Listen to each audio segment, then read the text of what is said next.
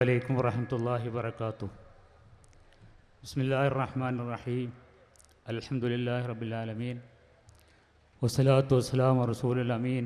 വ ആലിഹി വസാഹബിഹി അജ്മീൻ വേദിയിലിരിക്കുന്ന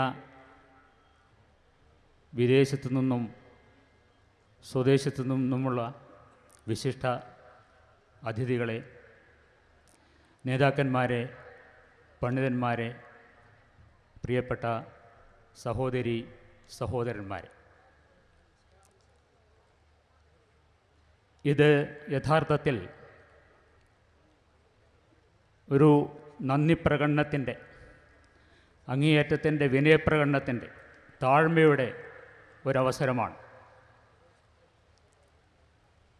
നമ്മുടെ മഹത്തായ ഈ സമ്മേളനം ഏഴാമത് മുജാഹിദ് സംസ്ഥാന സമ്മേളനം അതിന്റെ വിജയകരമായ പരിസമാപ്തിയിലേക്ക് നീങ്ങിക്കൊണ്ടിരിക്കുകയാണ്. വളരെയധികം പരിമിതികളോടെ പരിധികളോടെ ഭയാശങ്കകളോടെ ആരംഭിച്ച ഈ മഹത്തായ മുജാഹിദ് സമ്മേളനം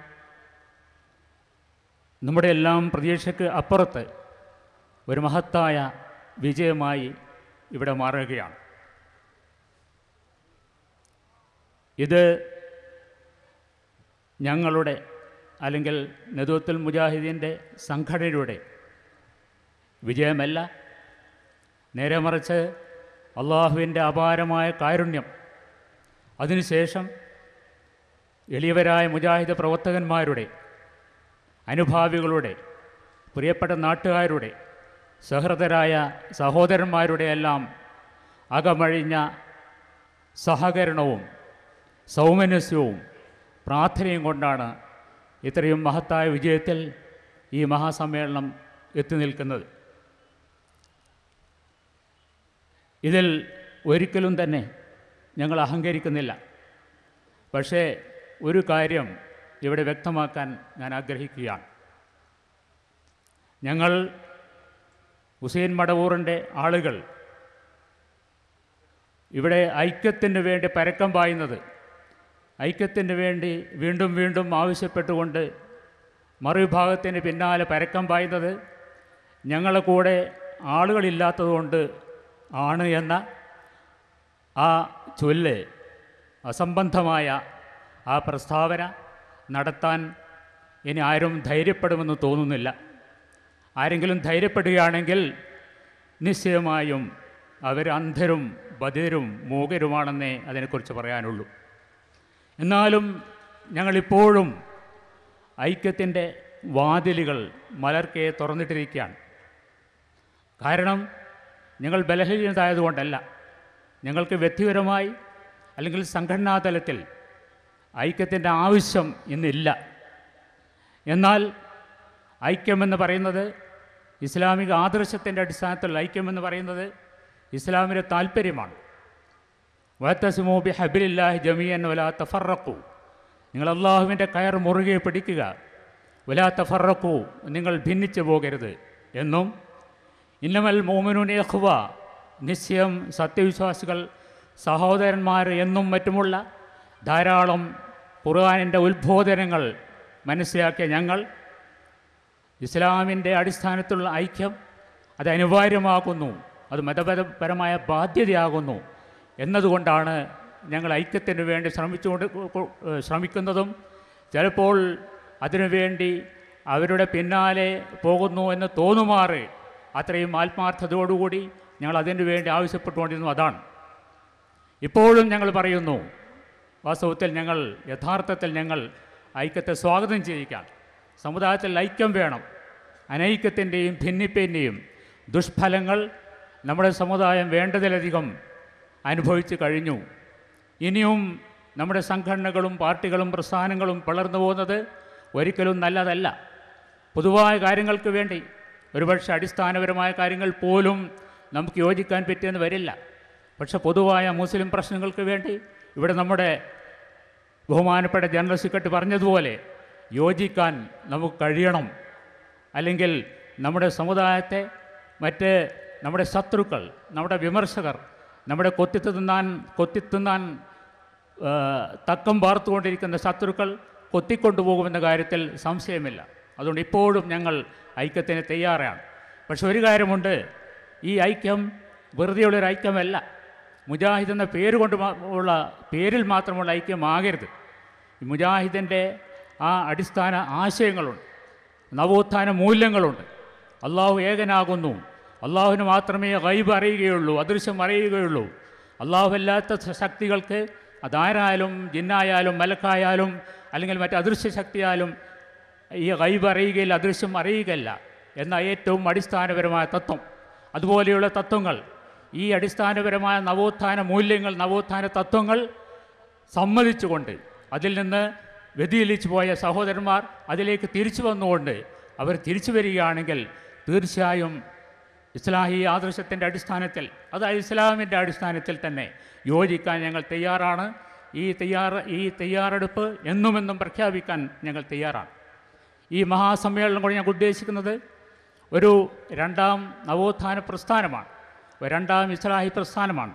നമുക്കറിയാം നമ്മുടെ കേരളത്തിൽ ഏതാണ്ട് ഒരു നൂറ്റാണ്ടുകോളം നൂറ്റാണ്ടോളം കാലമായി പ്രവർത്തിച്ചുകൊണ്ടിരിക്കുന്ന ഈ ഇസ്ലാഹി പ്രസ്ഥാനം ഈ നവോത്ഥാന പ്രസ്ഥാനം സമൂഹത്തിന്റെ വിവിധ മണ്ഡലങ്ങളിൽ മതപരവും സാമൂഹികവും സാമ്പത്തികവും സാംസ്കാരികവും മറ്റുമായ എല്ലാ മണ്ഡലങ്ങളിലും വളരെയധികം വിപ്ലവകരമായ മാറ്റങ്ങൾ പരിവർത്തനങ്ങൾ ഉണ്ടാക്കിയെന്ന കാര്യം നമുക്കറിയാവുന്ന കാര്യമാണ്. എന്നാൽ ആ നവോത്ഥാന മൂല്യങ്ങളുടെ പിടുത്തം അല്പം അല്പം അയഞ്ഞു പോവുകയാണ് മനസ്സിലും മനസ്സുകളിൽ നിന്ന്.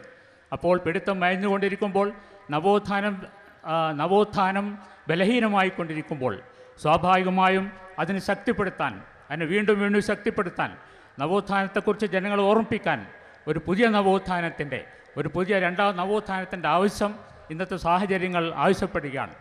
ഈ രണ്ടാം നവോത്ഥാനത്തിന്റെ ഏറ്റവും പ്രധാനമായ അടിത്തറ അടിത്തറ എന്താണ്? ഒരു തരത്തിലും ഒരു തരത്തിലും ഇസ്ലാഹി പ്രസ്ഥാനത്തിന്റെ ആ മുൻഗണനാക്രമം മാറ്റാൻ ഞങ്ങൾ തയ്യാറല്ല. അതായത് തോഹിദിന്റെ അടിസ്ഥാനത്തിലുള്ള ആയിരിക്കണം ഈ നവോത്ഥാനം. എന്നും എന്നും അന്നും ഇന്നും എല്ലാം തന്നെ ഇസ്ലാഹി പ്രസ്ഥാനത്തിന്റെ അടിത്തറ തൗഹിദാണ്. ഇക്കാര്യത്തിലുള്ള ഒരു വിട്ടുവീഴ്ചയും നടത്താൻ ഞങ്ങൾ തയ്യാറല്ല. അത് മുജാഹിദുകളുടെ പ്രഖ്യാപിത നയമാണ്. ഇതിന്റെ അടിസ്ഥാനത്തിൽ നമ്മുടെ സാമൂഹ്യവും സാംസ്കാരികവും രാഷ്ട്രീയവും സാമ്പത്തികവുമായ രംഗങ്ങളിൽ സമഗ്രമായൊരു നവോത്ഥാനം സമഗ്രമായൊരു ഇസ്ലാഹിന് വേണ്ടി പ്രവർത്തിക്കാൻ അതിനുവേണ്ടി രണ്ടാമതൊരു പോരാട്ടം നടത്താൻ രണ്ടാമതൊരു ജിഹാദ് നടത്താൻ നമ്മൾ തയ്യാറാകേണ്ടിയിരിക്കുന്നു. അത്തരത്തിലൊരു രണ്ടാം നവോത്ഥാനം വാസ്തവത്തിൽ അതിന്റെ ഒരു ആവശ്യകത ഇന്നത്തെ സാഹചര്യം സൃഷ്ടിച്ചിരിക്കുകയാണ്. തൗഹീദിന്റെ പ്രചരണത്തോടൊപ്പം തന്നെ ഒരുപാട് മാനങ്ങൾ ഈ നവോത്ഥാനത്തിനുണ്ട്. ഒരുപാട് മാനങ്ങളുണ്ട്. ഒരുപാട് കാര്യങ്ങളുണ്ട്. ഏറ്റവും വലിയ ഏറ്റവും ഒരുപക്ഷെ ഒരുപക്ഷെ ഈ കാലഘട്ടത്തിൽ ഏറ്റവും അധികം ആവശ്യമായിട്ടുള്ളത് ധാർമ്മികമായ നവോത്ഥാനമാണ്. നമ്മുടെ സമൂഹത്തിൽ ചെറുപ്പക്കാർ നമ്മുടെ സമൂഹത്തിൽ യുവതലമുറ ധാർമ്മിക ചു ചുരി ധാർമ്മികമായ അധപ്പതനം അനുഭവിച്ചു കൊണ്ടിരിക്കുകയാണ്.